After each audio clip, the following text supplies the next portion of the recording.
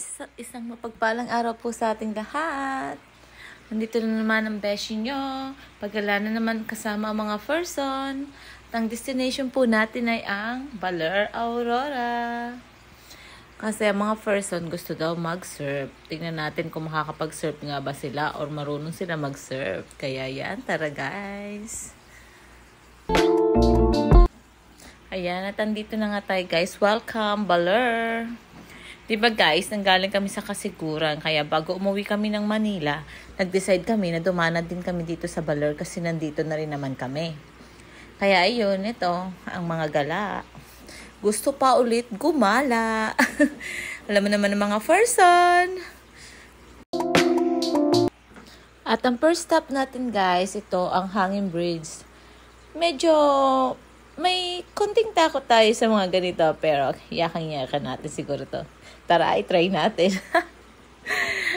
Nakaka-nervous lang. Abe, tingnan nga natin. Ang mga person, no?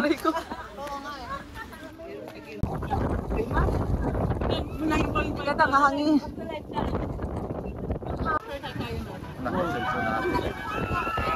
Ay, parang kayong tanga. No!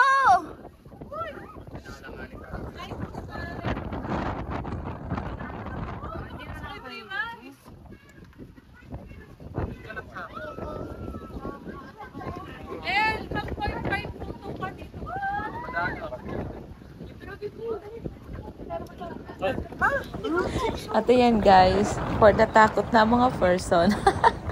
May namamalo na doon sa likod kasi wag daw magalaw. Ay, Diyos me, yung hanging bridge na to, talagang nakakatakot din kasi medyo parang luma na din kasi. Pero maganda siya, ang ganda ng view. Kailangan nating maranasan ng ganito para malaman natin kung saan ang takot natin, guys.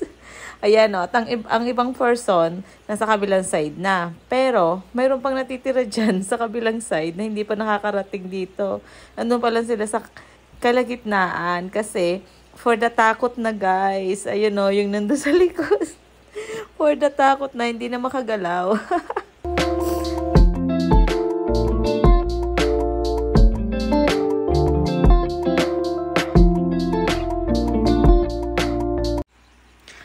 guys, second day na namin.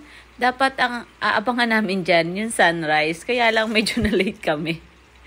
Alas 6 na, pero kanina pa yata yung ano, umano yung araw. Kaya yan, ito, tamang pasyal na lang tayo guys muna dito sa Dalampasigan. At ating aalamin muna kung pwede bang mag-surf ang mga person later. Kaya yan. I-check muna natin guys kung anong meron dito.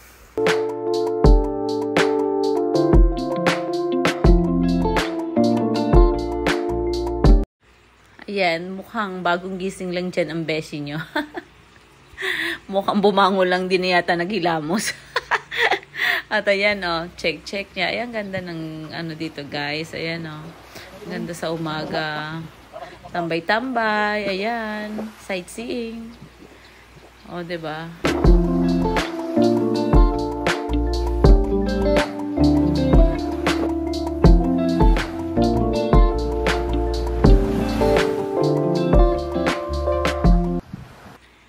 At ayan nga guys, medyo konti pa lang ang alon. Sabi nila hindi daw pwede mag-surf. Kaya aabangan na lang daw after 1 hour o 2 hours, depende sa alon. Kasi mas maganda syempre mag-surf kapag malalaki yung alon. Iaano na lang nila kami kung pwede kaming mag-surf mamaya. Ayan o. Medyo maliit ang alon. Pag ganun pala, hindi pala pwede mag-surf. Excited pa naman ang mga person. Sana mapagbigyan kami hanggang mamaya para naman bago kami umuwi bukas nakatry man lang mag-surf. At yan guys, doon may mga naglalangoy. Mayroon din namang naglalambat kaming nakita. Siguro nagtatry makahuli din ng isda habang wala pang nagsasurf. Ayan, tara baba tayo. Magbasa tayo ng konti sa alon. I mean, sa tubig. Ayan o. Oh. Ah, diba, mga tao din na mamasyal dyan.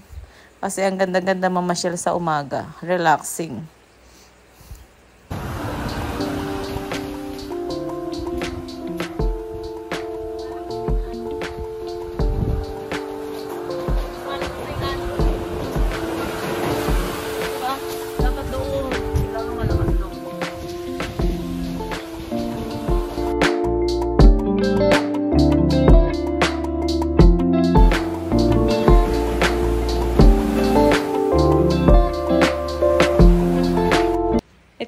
Guys, yung aming itinuluyan. Ayan, oh, may swimming pool.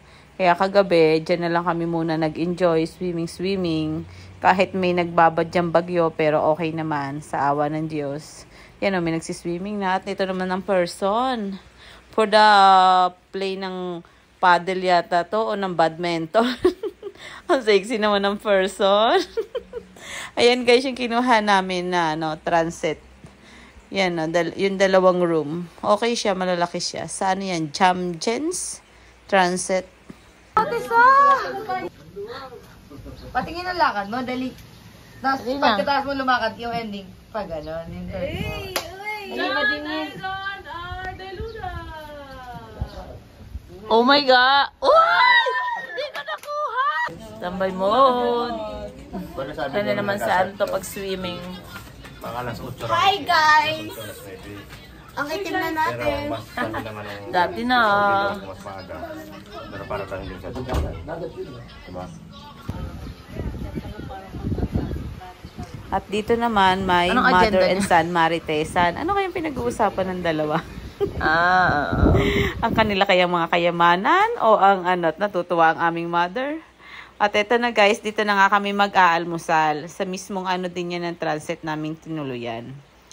Kaya mga person, picture-picture pa din. Ang ganda, sexy talaga ng girl. Yan, habang naghihintay ng order, syempre, walang sawang maritesan na naman ng mga person. O yan dito guys, o sa labas, ito. Ay, ang beshi nyo, nagkakape, may pagkain na. Siya pa yata ang nauna. Tingnan natin nga yung mga person kung lahat ba may pagkain. What's up, yo? Yung, wala pa yung ibang kanan. Yung Iba tapos na. Tapos na. Hindi pa. Sila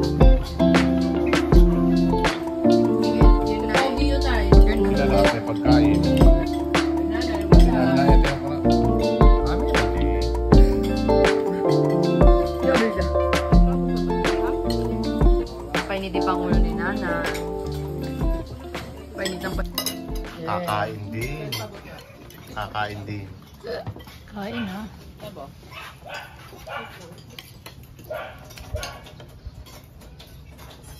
Mamaya na, hintayin mo yung sabaw mo. Sumuayaw tayo pakasalan ni Nino. Kanina ko. Grabe ka naman, Ninong. Ha? Ang bad mo, ha? O, dito daw ulit kami papakasal, guys, sa pavilion. Renewal. Ah. And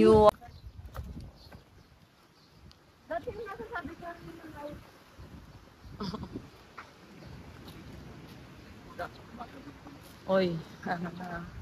Surfing, ano, talaga sayang.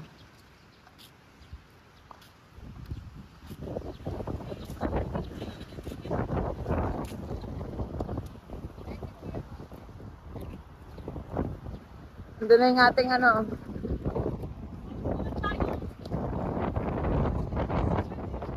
Ayan na, ayan na oh.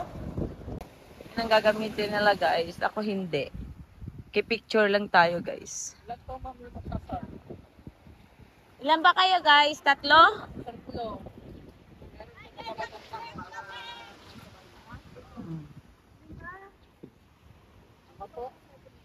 Ano, limang? Susurf ka din? Ay! Ang lakas ng alon guys! Oh my God! Ay! Grabe! Ang lalakas ng alon! Grabe sila! Woo!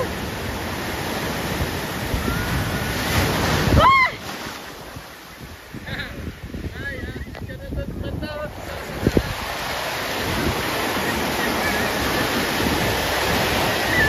Grabe!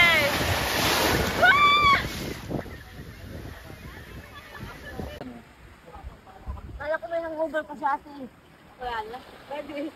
Yan, go up. Yan, forward mo lang.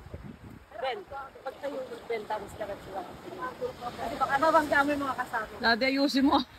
Ba, isa pa? Tali dito. Ready? Ready po po. Ready! Go up. Go up! Forward, yung right. eh, Yeah, ayan. Diretso lang yung tingin. Tapos pag mahulog kayo, magkabilang side lang over your head. Huwag mo lapitan yung board, hilain mo. Mga ready, ready? Ayan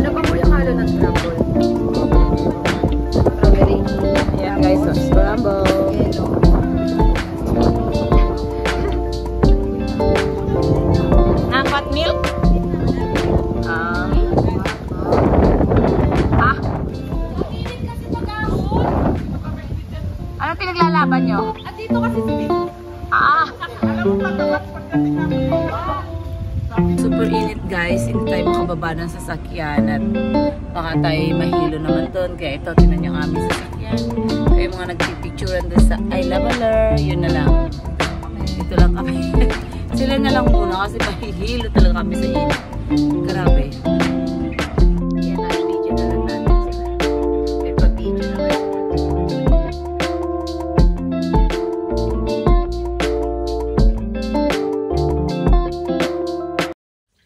Eto nga guys, uwian na. Pero bago kami magdiretso sa aming biyahe pabalik ng Manila, kailangan muna namin mag-recharge. Siyempre, kakain na naman ng mga person. Kaya ito, dito kami kakain sa aming paboritong pagkainan. Jollibee! Jollibee baka naman. Kain pa ng ano yan. Tapos na rice, rice. Uwian na guys. Bye-bye!